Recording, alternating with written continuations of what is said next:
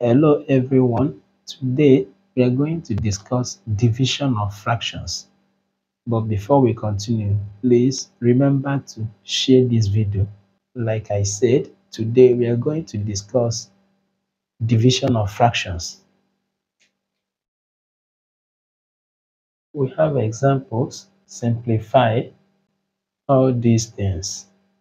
So we start with number one, 3 over 4 divided by 1 over 12.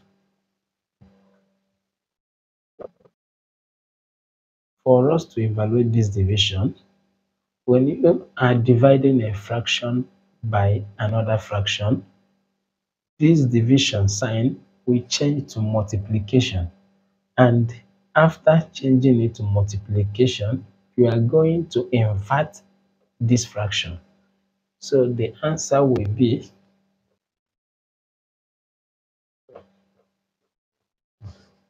three over four times we change this thing into 12 over 1. So if you are dividing a fraction by another fraction, this division sign will change to multiplication and we invert this fraction. So we have 12 over 1. But 3 times 12 will give you 36. 4 times 1 will give you 4. You see, you can divide now. 4 will divide itself 1. 4 divides 36. It will give you 9. So the answer is 9. Number 2, we have 2 whole number 1 over 4 divided by 3. If you look at this one, we have 2 whole number 1 over 4. For us to solve this, this one is a fraction, but this one is a whole number.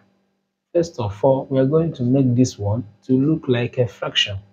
So we have 3 over 1 is now a fraction, just like this one. For us to solve this, we need to change this into improper fraction. So we have 4 times 2, 8. 8 plus 1, 9. So we are going to have, so we change this to 9 over 4 divided by 3 over 1. Here, we now invert it, change this division sign into multiplication sign. We have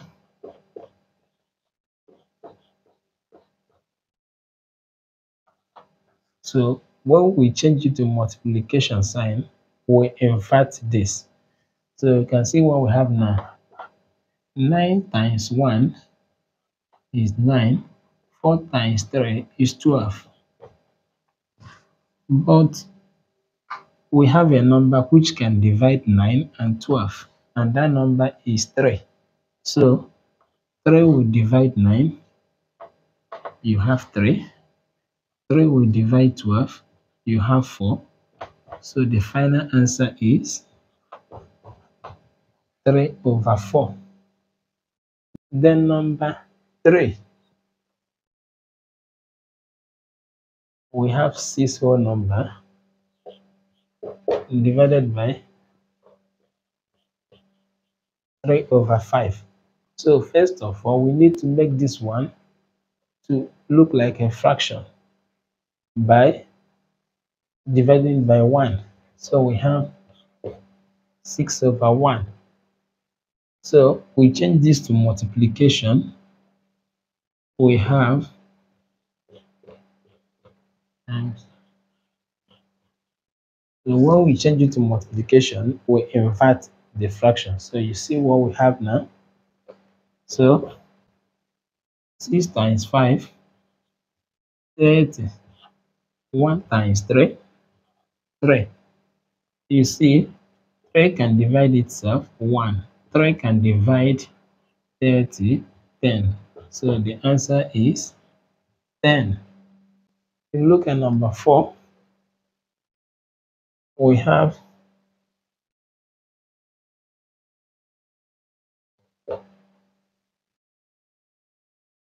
two whole number 2 over 5 divided by one whole number 1 over 3.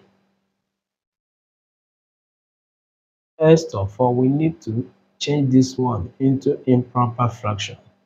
Here we change it to improper fraction. So 5 times 2 is 10. 10 plus 2, 12. So we have 12 over 5. That's what we have here. 12 over 5 divided by 3 times 1, 3 plus 1, 4. Here we now change it to multiplication. Then we have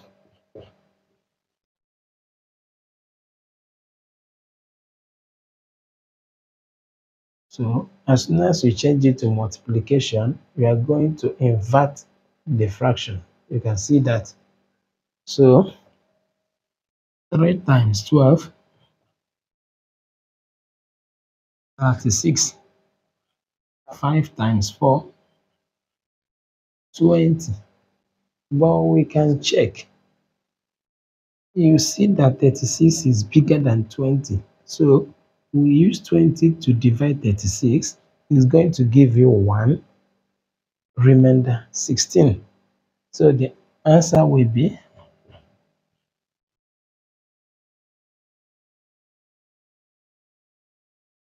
one whole number 16 over 20 but